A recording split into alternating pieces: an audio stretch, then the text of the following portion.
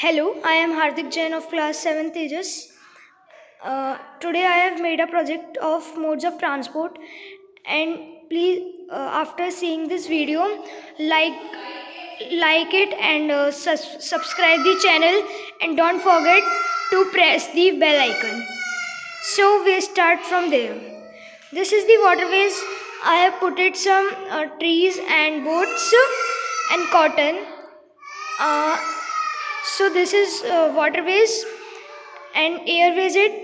I have make a simple road and grasses and aeroplanes i have put there.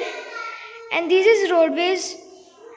Um, some cars and uh, bike are there and trees i have put it.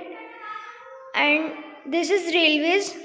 Some trains are going and uh, behind the trains there are some trees and mountains so this is whole this is whole project of modes of transport made by me.